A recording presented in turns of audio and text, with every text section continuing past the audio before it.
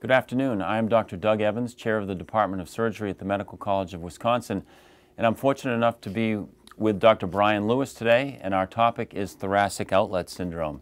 Uh, Brian is professor in the, in the Department of Surgery, our Division of Vascular Surgery.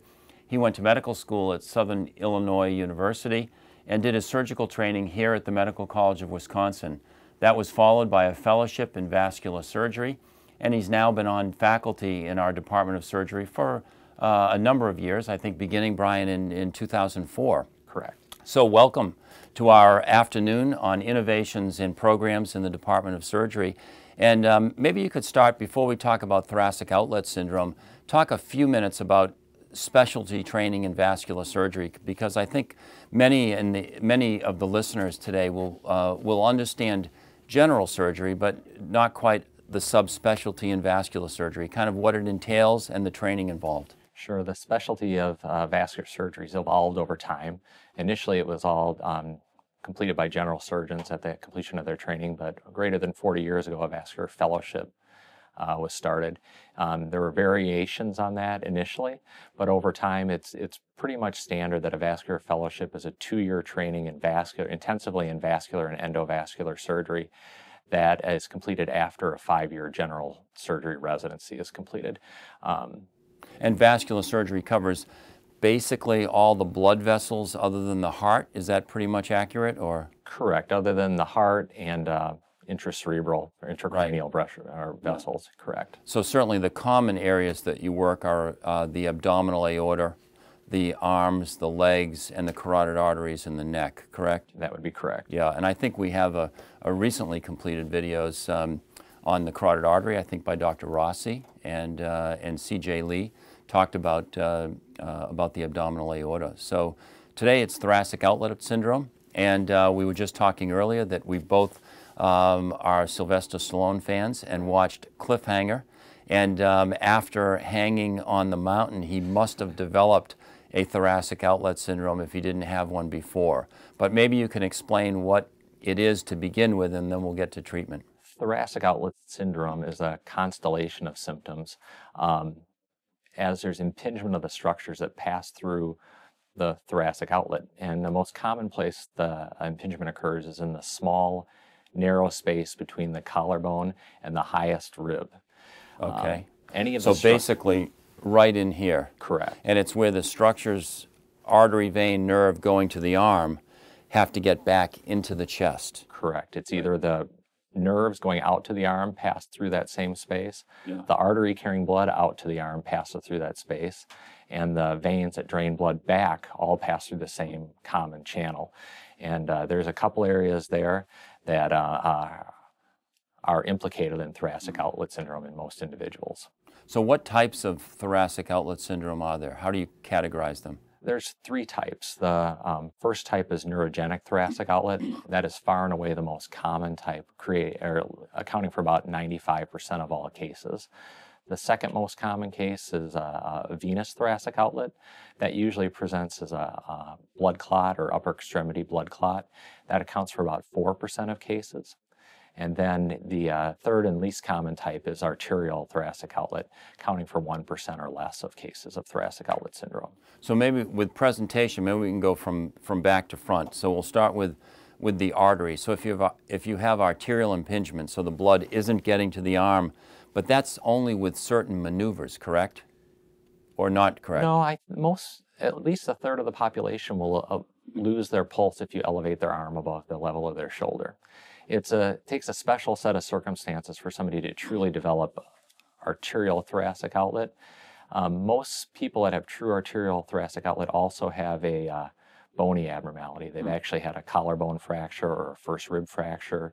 They have an abnormal cervical rib, or they may have an abnormal fusion of their first rib to their second rib or some variation on that. Um, the most common times I've seen this are people that have actually developed a complete occlusion or blockage of the artery supplying their arm with or without um, degeneration of that into an aneurysm in the thoracic outlet. So they would know because their arm would be cold, right? Cold and right. And they, numb. They, they have no blood flow to their arm, so their arm is pale, it may be painful, and they, they have no good blood flow going to that arm. And that would be a fair, that would be an emergency pretty much. In, in some cases it is. Some cases it's been more uh, slow in onset and they've learned to adapt to it. But um, um, they almost always have symptoms of um, arm fatigue with activity, arm fatigue with using their hands to do certain activities. And in rare cases, cases it is um, an acute problem where it happens all of a sudden and they have um, profound um, lack of blood flow to the arm and, and actually can't use their arm. Hmm, wow. And so, so obstruction of the vein would then result in a swollen arm, correct? That is correct. People with um, uh, blood clot in the vein created by thoracic outlet typically present with a heavy, um, sometimes painful, sometimes tight arm. Um, swollen. They may have um, evidence of dilated veins on the anterior part of their chest or their shoulder. And the so-called neurogenic thoracic outlet. Um, so obviously that's compression of the nerve. But what, how does the patient know that they may have neurogenic thoracic outlet syndrome? Neurogenic thoracic outlet is um, probably the hardest to diagnose. From an arterial and venous, it's pretty clear. They don't have good blood flow to the arm or they don't have good return of blood from the arm. But neurogenic is a lot harder to sort out. They have um, pain in the arm sometimes. They may have numbness and tingling in the arm. Sometimes it's weakness. It can be shoulder pain, neck pain. Um, there's a very uh, a wide variety of symptoms that, that can present from neurogenic thoracic outlet. I think the trick to neurogenic thoracic outlet is the um, making of the diagnosis.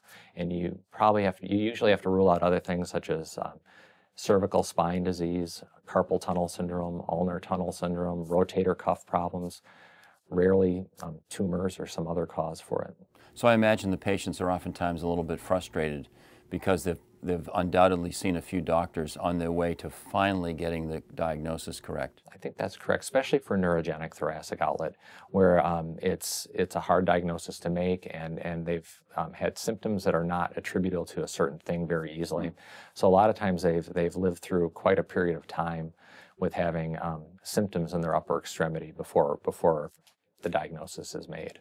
Now, at what age do, do, most of these patients present? Is it more common in men than women or vice versa? And why does it, since it's a structural or anatomic problem, why is it not present since early age? Why, why does it all of a sudden become symptomatic? It does present at any age. So we see people uh, or patients in a spectrum. Um, I've seen patients as young as you know 12 or 14 years of age, all the way up into middle age and older. So it presents over a wide variety. Um, men and women in my practice have been probably equally represented.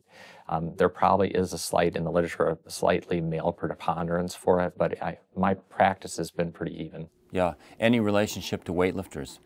Um, interestingly, there is um, neurogenic in particular, venous in particular, there is an association with repetitive activity. So it may be sporting activities or it may be um, work related, where if you have a um, chronic repetitive use of person on an assembly line or something else at work, or um, baseball players, um, volleyball players, weightlifting, gymnasts, anything that has a lot of repetitive activity, they are at higher risk for probably developing a thoracic outlet syndrome.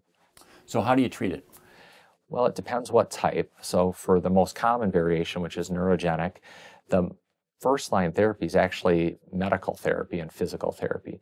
A fair number of patients can get great symptom relief and not require an operation or any other intervention. And uh, physical therapy alone uh, seems to help a lot of people with neurogenic thoracic outlet. Only when they've failed uh, uh an appropriate trial of um, conservative therapy would we, would we talk to the patients about surgical intervention for thoracic outlet syndrome when it comes to neurogenic thoracic outlet. And what operation would you do? There's a, a couple different approaches for it. Um, one approach, and the one I most commonly do, is called a, a transaxillary approach for thoracic outlet decompression, and that's making a small incision in the armpit, and you uh, basically go down to the chest wall and follow the chest wall up till you find the first rib, and you resect a segment of that first rib. And in doing so, you open up that space between the collarbone and the first rib, and it also gets rid of some of the small muscles in the neck that sometimes cause the impingement. Hmm. There's a second approach, which is um, a supraclavicular. So you make an incision just above the level of the collarbone, and you can easily do the operation from that approach as well. Which do you prefer? I do the transaxillary most commonly. Yeah. And how long is the patient in the hospital usually? Most patients stay a single night in the hospital. Well, occasionally two, but most patients stay one night. Yeah.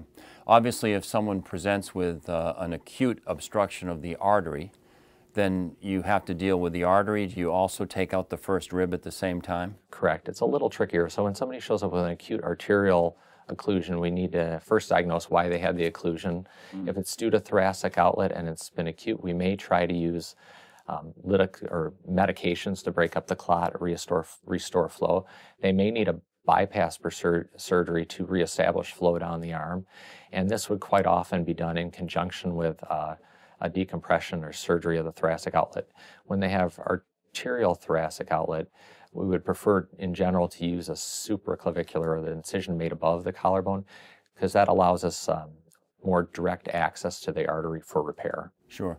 Clearly a, a much more serious situation than an, than an elective uh, first rib resection for neurogenic thoracic that outlet would be correct. syndrome. Yeah. Correct. And then if someone presents with a big swollen arm and they have a clot in their subclavian vein, how, how is that dealt with now? right? We see patients on both ends of the spectrum from a clot. Some people have um, been diagnosed with a clot and have sought care and uh, been treated medically with blood thinners. And, and, then in a more elective fashion, we can take their first rib out. If somebody presents acutely to us with a clot and has a swollen arm, we would typically take the patient and, and um, use medications to try to break up the clot and relieve the obstruction in the arm. And then after an appropriate time period, we uh, uh, choose um, along with the patient in, in concert with them, when would be the appropriate time for them to have the first rib removed. So to break up the clot, would you, you, would put a catheter then in? Would you use intravenous uh, thrombolysis is the, would be the medical term? Correct. Would that put a, um, we typically place an IV with a catheter in it through a vein in their arm and place this up into the area of clot and, uh, and instill medication, um, tissue plasminogen activator, to um, break up the clot and relieve the obstruction. Yeah, wow, fascinating. Well, Brian, thank you so much. This was a beautifully comprehensive review of thoracic outlet syndrome. And I think there are, there are very few areas where, where listeners and the lay public can find information on this relatively rare disease, but probably a disease which is, uh, which is underdiagnosed. And we will have a couple slides remaining after this video providing more information on this topic. Thank you all so much uh, for listening.